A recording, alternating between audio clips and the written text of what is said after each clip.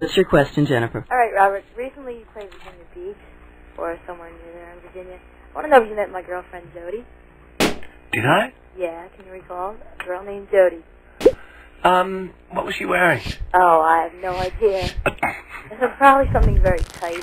So, Jennifer, Ah. do you have a musical question? Yeah, Oh, I do. Oh, wait a minute, that was quite nice. Mhm. So what's what's happening with Jody right now? I don't know. I just talked to her the other day, but she said she met you. Yeah? Yeah. How was it for her? She said she loved it. Oh, good. Well, there we are. Okay. Well, that's great. All right, anyway, I if my kids have- are driving in from the airport right now, I'm sorry, kids. It was a, just one slip up.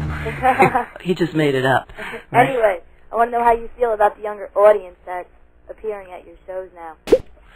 Well, um, I just think it's as a career continues, you other people come along who like what you do, and uh, you don't get too many people who are getting to be 60 years old latching on to Tall Cool One a ship of fools. So you're bound to stretch out.